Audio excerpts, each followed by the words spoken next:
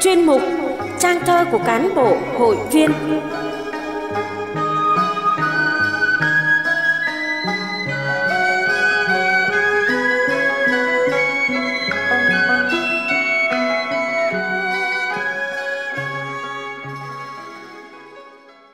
Thưa quý vị và các bạn, trong chuyên mục trang thơ kỳ này, tạp chí xin được gửi tới quý vị và các bạn các bài thơ của các tác giả.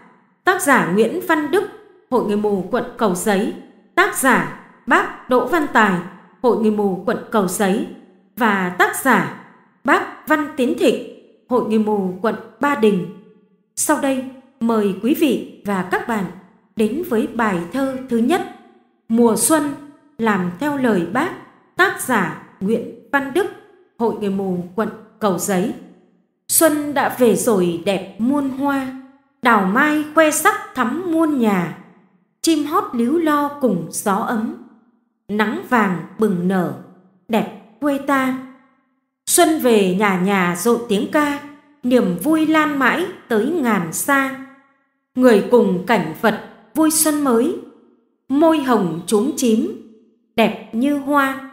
Năm mới thi đua cùng tiến lên, làm theo lời bác chẳng hề quên xây dựng quê hương ngày thêm đẹp, dạng danh con cháu, giống rồng tiên. Bài thơ thứ hai, quà tết tình thân, xuân tân sửu 2021 tác giả Bắc Đỗ Văn Tài, Hội Người Mù, quận Cầu Giấy.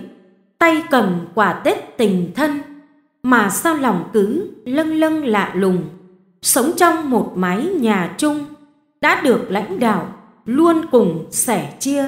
Mỗi năm tết đến xuân về, hội viên lại có quà quê tình người. Xuân về đẹp lắm, ai ơi! Đẹp hơn thế nữa, tình người, tình xuân. Thơ này xin có mấy vần gửi câu lạc bộ tình thân, tình người. Hội viên cầu giấy, ta ơi! Cảm ơn quà tết, tình người, tình thân và cuối cùng là bài thơ Mừng Xuân của tác giả Bác Văn Tiến Thịnh, Hội Người Mù quận Ba Đình.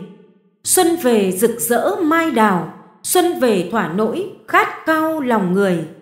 Đó đây tiếng hát tiếng cười, đón xuân, đón cả bầu trời én bay. Gặp nhau, tay siết chặt tay, chúc nhau hạnh phúc, gặp may, khỏe nhiều. Nàng xuân diễm lệ yêu kiều, yêu nàng ta hãy làm nhiều vần thơ.